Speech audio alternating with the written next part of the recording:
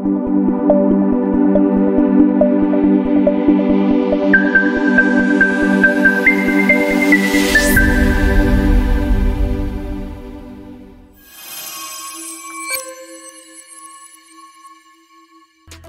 khó khai thác Pi Network chạm ngưỡng cao nhất mọi thời đại vào tháng 10.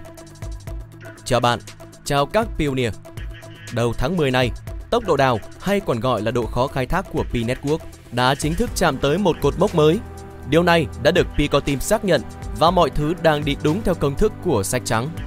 Lần đầu tiên trong lịch sử đào Pi, mạng lưới hiện nay đã bắt đầu mất mốc 0,01 Pi trên giờ. Điều này cũng đồng nghĩa với việc độ khan hiếm Pi đã tăng lên rất mạnh. Trong video hôm nay, chúng tôi xin mời các pioneer hãy cùng nhìn lại những số liệu thực tế được ghi nhận từ ứng dụng đào Pi.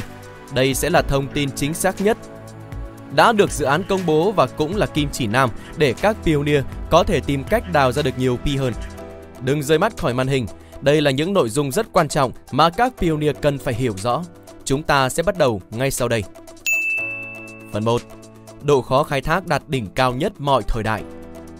Cơ bản thì tốc độ đào là một khái niệm phổ biến trong ngành blockchain. Đối với Pi Network, cơ chế phần thưởng này không tính bằng máy tính nốt mà được tính trực tiếp trên các thiết bị điện thoại, ứng dụng Pi sẽ xác nhận tốc độ đào của mạng lưới.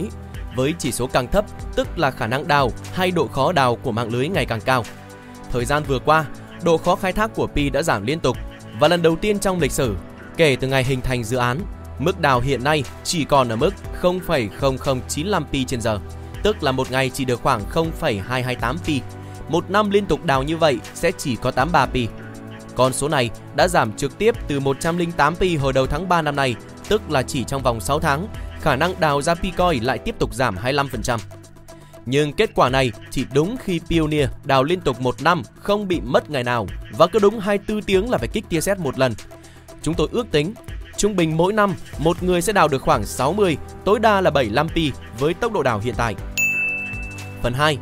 Pico Team hướng dẫn cách gia tăng tốc độ đào Trước những chỉ số on-chain đang bắt đầu khó dần cho các pioneer đào coi, Pico Team đã nhắc nhở lại các giải pháp giúp người dùng có thể gia tăng tỷ lệ đào trong thời điểm khó khăn này.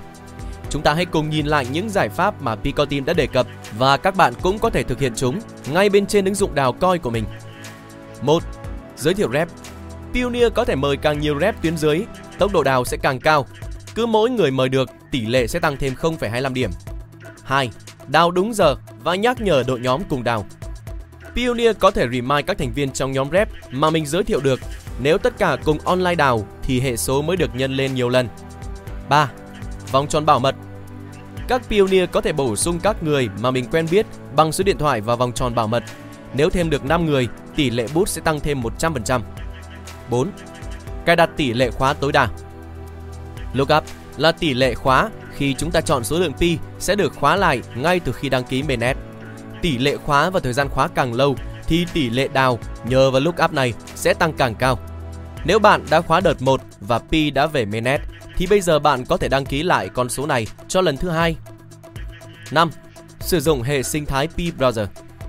Người dùng có thể truy cập vào Pi Browser, kết nối với tài khoản đào Pi, sau đó test các tính năng, ứng dụng trong app này từ đó giúp hệ sinh thái Pi phát triển bền vững hơn. Đổi lại, Pi sẽ ghi nhận sự đóng góp của Pioneer và trả thưởng bằng cách tăng tỷ lệ đào Pi của tài khoản. 6. Chạy máy nốt Sau cùng là khả năng vận hành một máy chạy nốt. Đây là phần khó nhằn nhất và cũng đem lại kết quả rất tốt.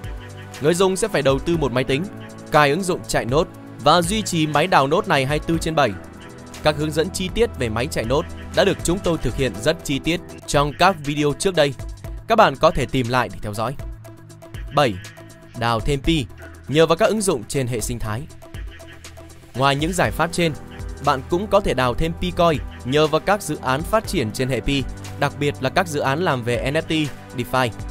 Các cái tên đính đám trong nhóm này là Pipet and P, NFT P Heaven, Tokenization on P, P Bridge, vân vân. Các dự án chuyên về DeFi sẽ có thêm các pool staking và farming giúp Pioneer gia tăng thêm tài sản crypto. Về cơ bản thì nó giống với hình thức gửi tiền tiết kiệm ngân hàng và lấy lãi suất. Ví dụ, với P-Bridge, bạn có thể đầu tư NFT và bắt đầu đào pi tự động. Ít nhất, bạn sẽ kiếm được từ 108 pi đến 156 pi trên một năm khi đào bằng NFT này. Trên đây là top 7 những phương pháp mà chúng tôi muốn chia sẻ đến các pioneer để chúng ta có thể khai thác được tính ưu việt của các sản phẩm DeFi và NFT, cũng như chính bản thân của ứng dụng P Network.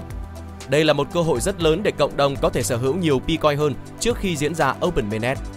Các số liệu on-chain đầu tháng 10 và độ khó khai thác cũng cho thấy mạng lưới Pi Network đang chuẩn bị cho một đợt bùng nổ rất lớn vào năm 2024. Bạn đang đào được bao nhiêu Pi một ngày? Hãy để lại kết quả của mình để giao lưu cùng cộng đồng Cryptolickven. Chúng tôi rất vui khi cùng các bạn đồng hành và khám phá Pi Network trong suốt thời gian vừa qua. Cảm ơn cộng đồng đã tin tưởng và ủng hộ kênh.